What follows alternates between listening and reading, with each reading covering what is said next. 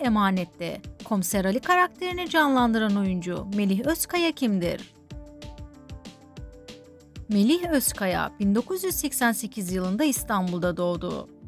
Çocukluk yıllarından beri spor ile ilgileniyor. 15 yıl voleybol oynadı. Daha sonra İstanbul Büyükşehir Belediyesi'nin altyapısında oynamaya başladı.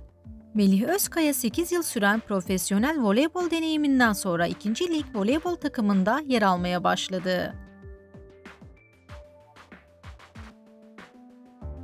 Tokat, Payas Belediyespor, Tofaş, Diyarbakır, Sivas ve daha pek çok voleybol takımında oynadı. Melih Özkaya 3. Lig voleybol takımında da yer aldı.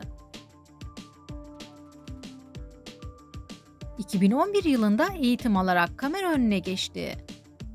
Yer Gök Aşk dizisinin 3. sezonunda rol aldı.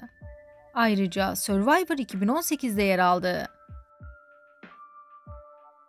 Melih Özkaya'nın sevgilisi var mı? Hayır, oyuncunun sevgilisi yok. Babası var mısın yok musun yarışma programına yarışmacı olarak katılmıştı. Adı Metin Özkaya. Melih Özkaya'nın boyu 1.90, kilosu 84, burcu Aslan.